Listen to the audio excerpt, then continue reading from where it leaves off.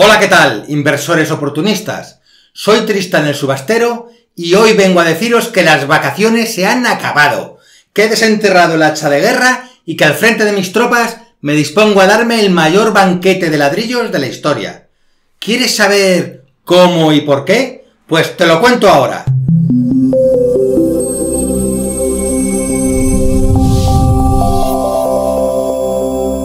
Los que ya me conocéis sabéis que hace más de un año cuando nos encerraron por motivos de la pandemia, llegué a la conclusión de que la cosa se iba a poner fea en el mercado inmobiliario y anuncié por este canal que iba a tomarme unos meses sabáticos que iba a aprovechar para acumular liquidez.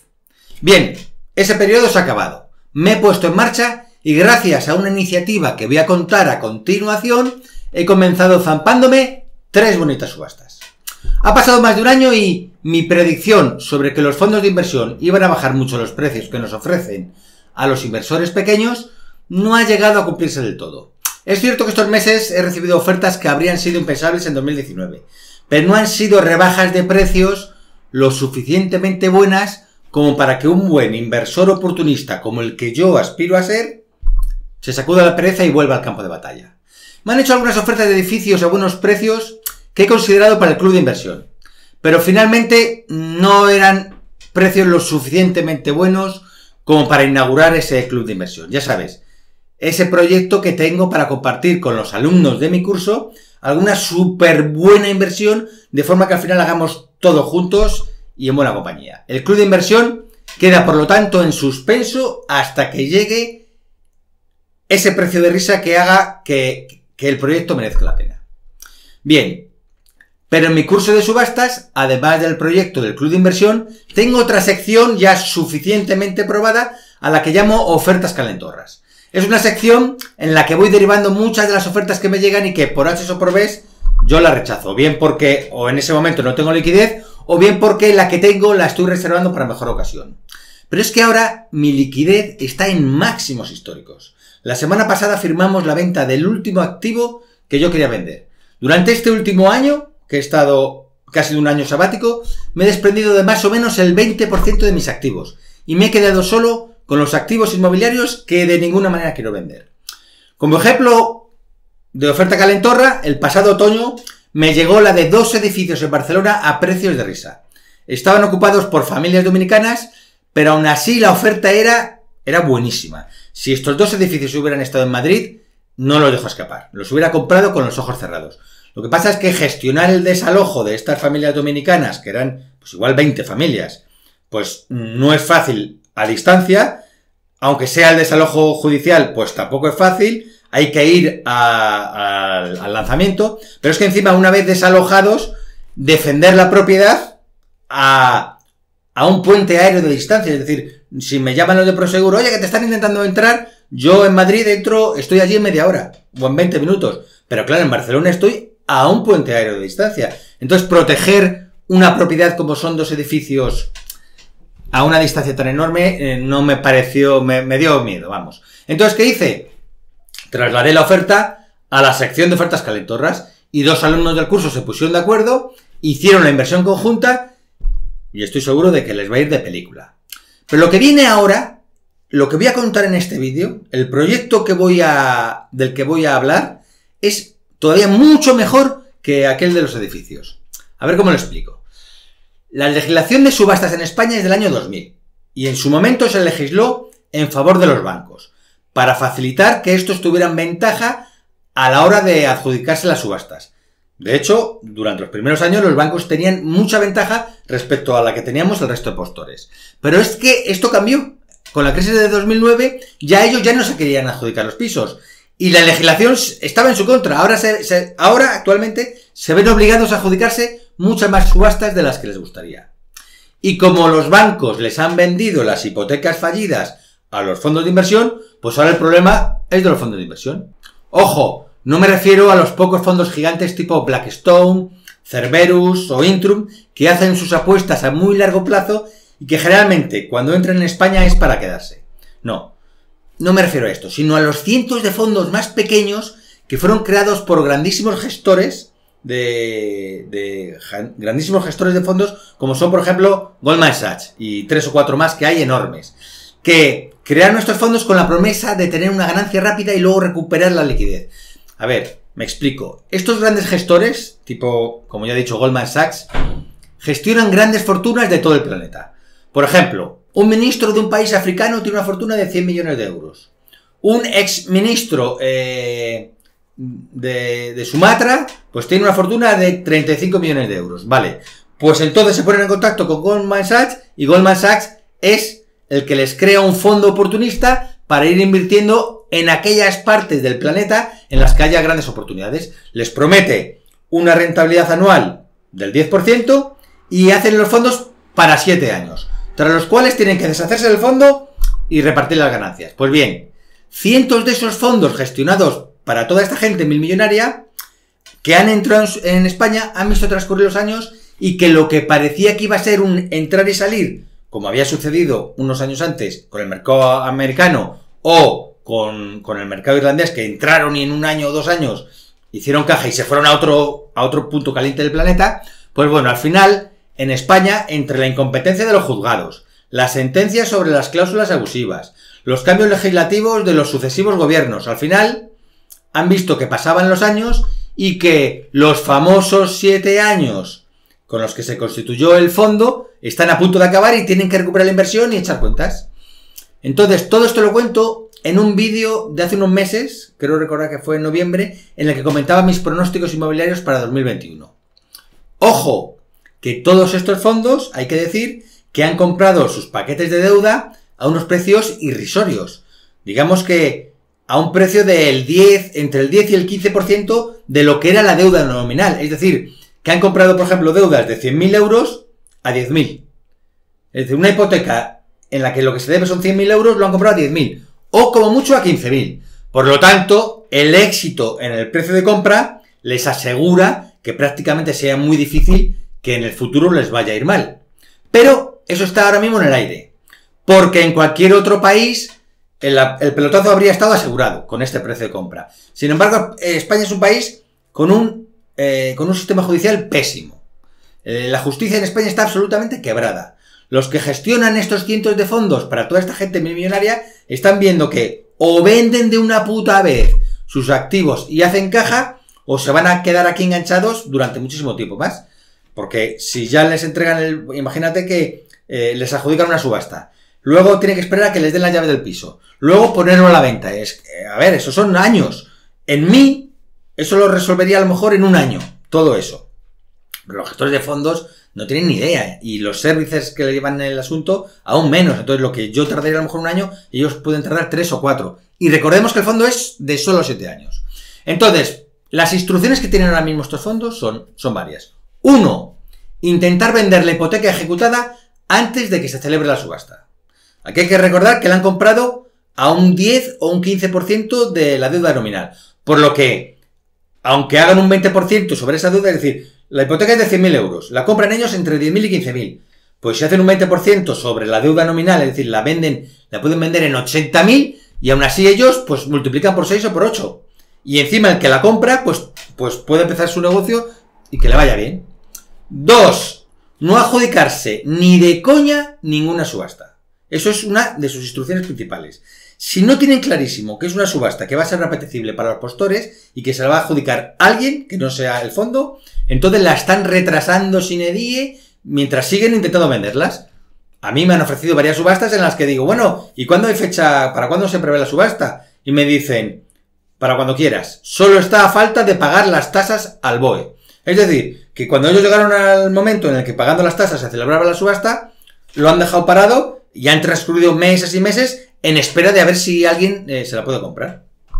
Bien, tercera cosa que tienen como instrucción primordial. Si se la, al final se adjudica en la subasta, ceder el remate de todas sus adjudicaciones. ¡Plas! Esto es lo que nos interesa. Y esto es lo que voy a contar en este vídeo. Solo te pido un poco de paciencia y espero un poco que ya te voy a contar exactamente cuál es el proyecto. Y cuatro, si no les ha quedado más remedio que adjudicarse el bien, van a intentar venderlo como sea en la situación que esté. Es decir, que esté ocupado, que esté con la familia dentro, como sea, lo van a vender, no te voy a decir al precio que sea, pero recordar que ellos han comprado un 10% del nominal de la deuda, pero lo, lo tienen que vender. Ellos son conscientes de que ellos y los servicers que les hacen el servicio son unos incompetentes administrando cientos de propiedades. Que se las ocupan todas, que una vez consiguen la posesión judicial, llegan los ocupas y se la quitan. Y que además, una vez la consiguen y ya la protegen bien, es que además no saben venderlas y se las acumulan. Y se las acumulan y tienen cientos y cientos de propiedades ahí mm, que no son capaces de convertir en dinero.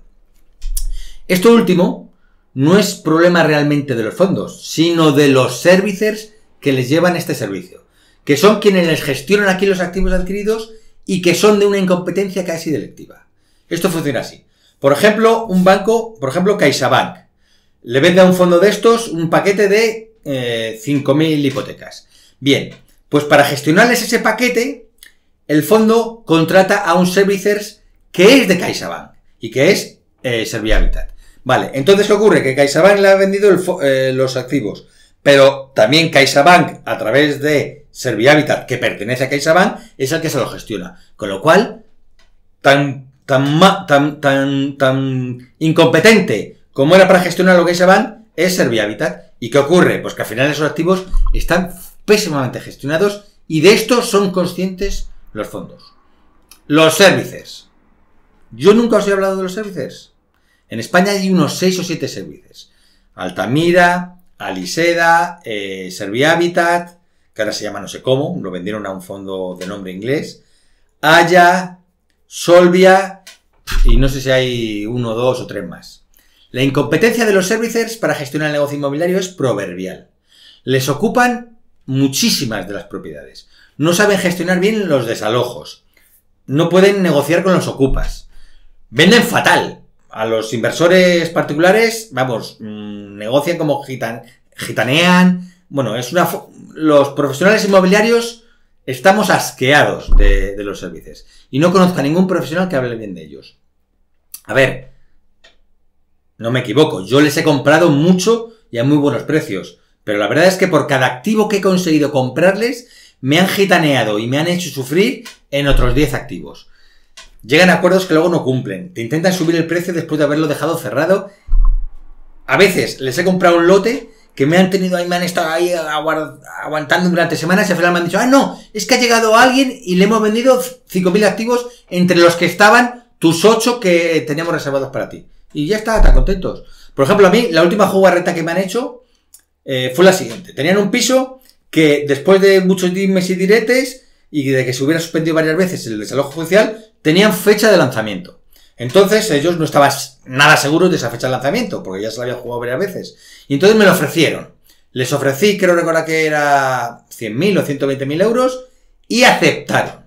Y la cosa se quedó ahí. Pero pasaban las semanas y no firmábamos el contrato de, arras. Y yo ahí ya me, temía porque se acercaba la fecha de lanzamiento. Entonces, ¿ellos qué, qué hicieron conmigo? Ellos dijeron, vale, con este tío ya tenemos el acuerdo para el caso de que no consigamos lanzarle. Pero luego, cuando llegó la fecha de lanzamiento, consiguieron lanzar al tipo que estaba dentro. Y entonces ya no había acuerdo. Ya ese precio de 110, 120, ya se había convertido en 140 o 150. Y cuando yo le dije, ya, habíamos llegado a un acuerdo. Ah, no, no, no habíamos cerrado ningún acuerdo. ¿Acaso tienes firmado un contrato de arras? A ver, pues es que eso es la coña marinera. Porque cuando tú me vendes y aceptas mi precio, es porque está en el aire la posesión. Me estás vendiendo algo que puede que yo consiga que el lanzamiento se lleve a efecto o puede que me tenga que comer eh, más meses de, negociar con el tío que está dentro o de, eh, de hablar con el juzgado, etcétera, etcétera. Pero no, lo que haces es que una vez con una mano ya tienes amarrada el compromiso de venta, tú esperas, esperas, esperas y ¡ah, qué bien! Ahora ya no vale solo 100.000 euros porque tiene ocupa, sino que ahora vale 140 porque ya está desocupado. Pues gitaneos de estos. Así es que el problema de estos fondos oportunistas es cómo deshacerse rápida y limpiamente de todos estos activos y, a ser posible, no adjudicarse ninguno más. Y para solucionar esto, a un ejecutivo de una de estas tres o cuatro grandes gestoras de fondos ha desarrollado una plataforma que va a ser clave para facilitar las cesiones de remate. ¿Alguno de los que estáis viendo este vídeo ha conseguido alguna vez que el fondo acreedor, que la parte actora, le cediera el remate de la subasta en la que estaba interesado? ¿A qué es muy difícil? Pues bien, ¿cuál es el problema que hay con las cesiones de remate? Es muy sencillo. Supongamos que un piso vale 100.000 euros, que tiene una deuda de 150.000. ¿Cómo puede valer 100.000 y tener una deuda de 150.000? Pues muy sencillo, porque cuando le dieron el préstamo en el 2009, el piso no valía 100.000, valía 200.000. Pero luego, mmm, abajo de precio, y la deuda sigue siendo de, enorme, de 150.000, pero el piso ahora solo vale 100.000 euros porque entre medias ha habido una crisis financiera que empezó en 2009. Y sale a un tipo de subasta de 250.000 euros, que es el que se determinó cuando le dieron la hipoteca en el 2008-2009. Bien, por un lado, los postores no querremos participar en una subasta cuyo precio de adjudicación no va a llegar, no va a quedar firme, no va a llegar al 70% del tipo de subasta.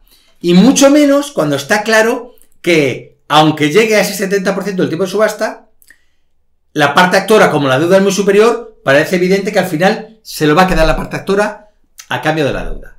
¿Qué ocurre? Por otro lado, el fondo acreedor, al quedarse la subasta desierta, porque no nos presentamos nadie, se va a ver obligado a adjudicársela.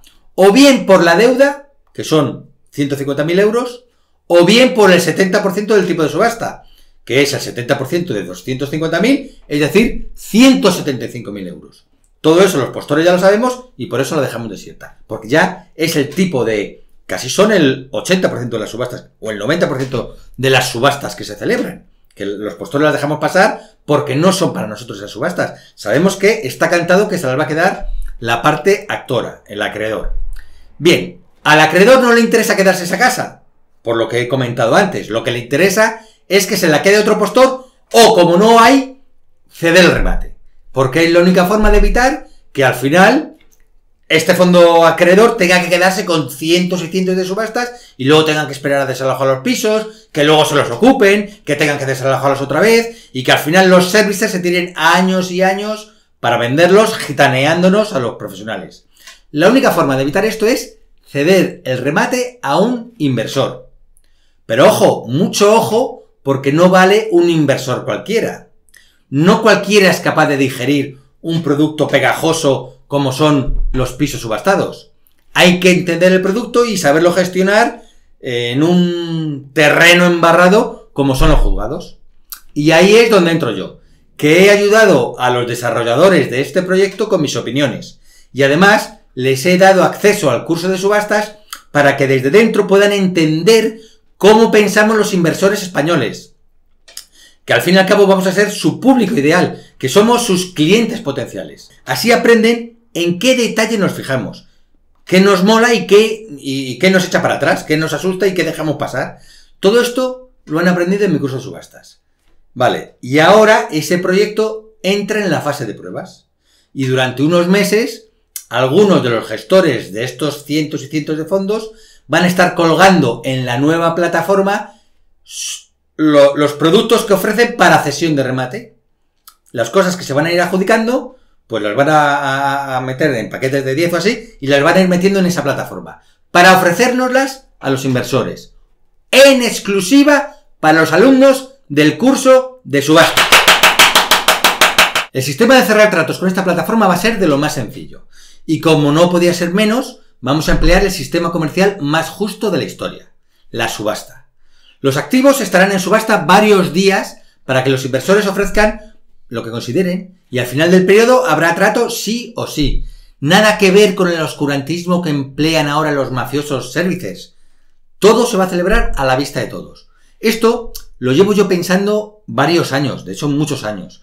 Cuando los servicios mm, te gitanean y tal igual, yo pensaba, vamos a ver, ¿por qué no utilizan un sistema como el que había en España a finales de los años 90, con el cual muchos bancos que, se habían tenido que quedar con muchas adjudicaciones, las digirieron pues organizando subastas privadas y vendiendo a cientos y cientos y quizás miles de inversores pues todo ese producto que habían acumulado. Entonces yo pensaba, el servicer, en vez de andar aquí gitaneando a uno, gitaneando a otro, llegando a un acuerdo con otro, pero luego bajándolo, luego prometiendo no sé qué y no cumpliendo y haciéndonos mil putadas y quedando fatal, quedando fatal con los, con, los profesionales eh, inmobiliarios, en lugar de eso, ¿por qué no organizan subastas en las que, bueno, ellos describen el producto, explican, este producto está ocupado por una familia de rufianes.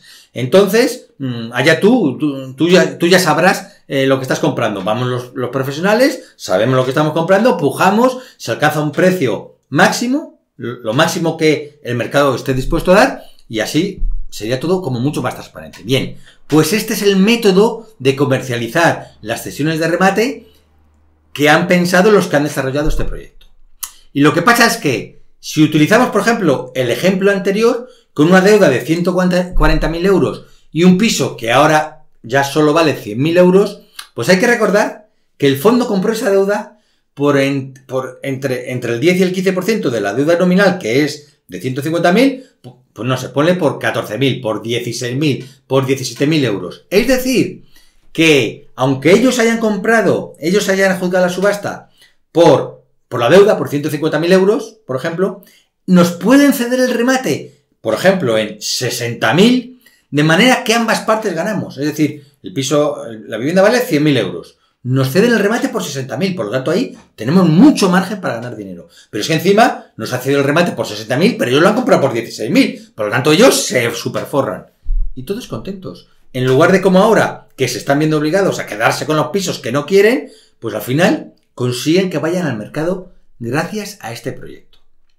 Esto, este, esto que estamos haciendo ahora, le va a servir al creador del proyecto como prueba piloto, para ver si hay mercado en España para las cesiones de remate masivas, que por supuestísimo que lo hay. Y también para ir puliendo los errores que vayan saliendo durante estos meses. Mis alumnos están caninos, yo también. Todos deseando comenzar a comprar a lo loco. Van a comprar en esta plataforma todo lo que cuelguen. No van a dejar ni las raspas. De hecho, la primera tanda de ofertas de cesiones de remate ya ha llegado y yo las he visto. Y no solo las he visto, sino que yo mismo ya he empezado la degollina y me he zampado tres víctimas de un bocado. Tres activos nuevos que ya tengo en la buchaca. Una pequeña gratificación por mi colaboración. Las ofertas las vamos a colgar muy pronto, esta misma semana, en la plataforma del curso, para que los alumnos del curso de subastas se den un primer atracón. Y luego habrá más ofertas y más atracones. Todas las semanas vendrán cesiones de remate nuevas.